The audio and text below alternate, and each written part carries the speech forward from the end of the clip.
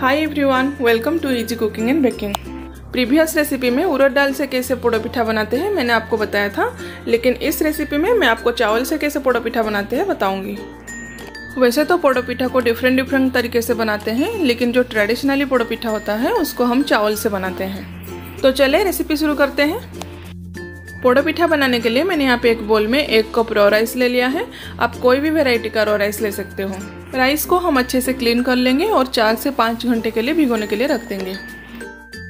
लगभग पाँच घंटे के बाद चावल अच्छे से सोख हो गया है। अब उसका सारा पानी ड्रेन कर लेंगे और उसको एक मिक्सिंग जार में ट्रांसफ़र कर लेंगे। अब हम राइस का एक पेस्ट बना लेंगे।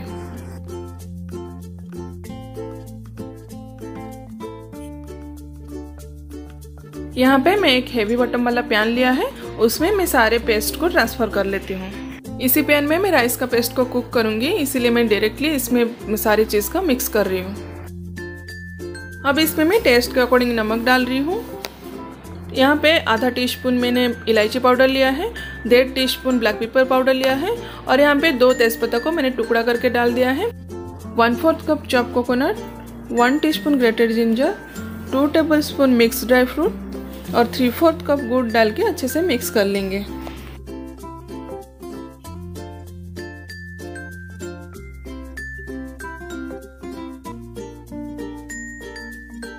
अब इसमें हम डेढ़ कप दूध डालेंगे और गुड़ मेल्ट होने तक अच्छे से मिक्स कर लेंगे।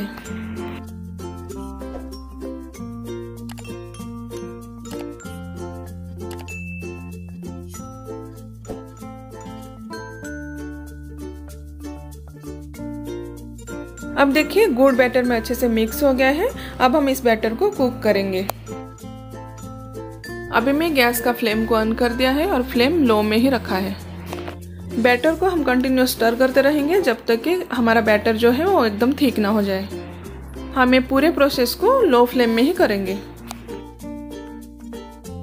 यहाँ पे देखिए बैटर हमारा धीरे धीरे ठीक होना स्टार्ट हो गया है। अब इसको हम कंटिन्यू स्टर करते रहेंगे।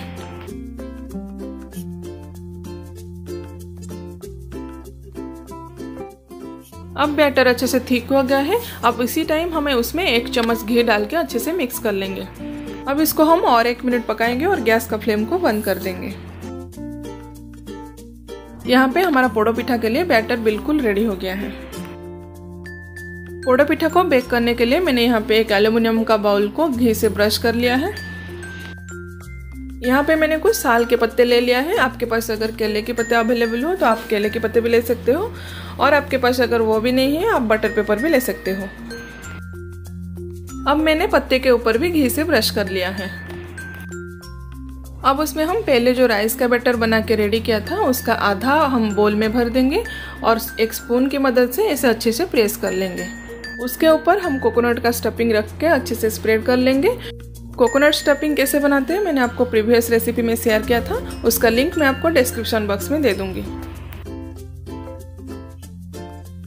अब हम बाकी के बैटर को उसके ऊपर रख के अच्छे से स्प्रेड कर लेंगे और एक स्पून की मदद से उसे प्रेस करके अच्छे से स्मूथ कर लेंगे।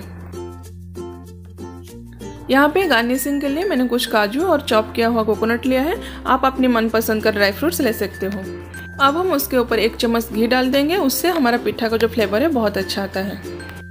यहाँ पे मैं एक इडली स्टैंड में थोड़ा सा नमक डाल के पाँच मिनट के लिए प्री हीट करने के लिए रख दिया था।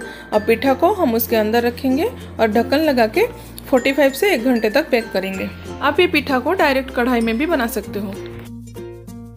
एक घंटे के बाद देखिए, पिठा अच्छे से बेक होके एकदम ब्राउन कलर हो गया है। अब हम गैस का फ्लेम को बंद कर देंगे और पिठा को एकदम ठंडा होने के लिए छोड़ देंगे। ठंडा होने के बाद हम पिठा को एक प्लेट में निकाल लेंगे। यहाँ पे देखिए, हमने जो बेक करने के लिए पत्ते यूज़ किए थे, उसकी वजह से पिठा हमारा बोल से एकदम इजीली निकल गया। अब हमारा पोड़ो पिठा बिल्कुल रेडी हो गया है। अब उसको स्लाइस करके एंजॉय कर सकते हो। अगर आज की मेरी रेसिपी आपको पसंद आए तो प्लीज़ लाइक शेयर कमेंट ज़रूर करना और इजी कुकिंग एंड बेकिंग को सब्सक्राइब कर लेना। पास में जो बेल आइकन है, उसे क्लिक कर लेना ताकि मेरी न्यू रेसिपी अपलोड की नोटिफिकेशन आपके पास पहले आ जाए। Thanks for watching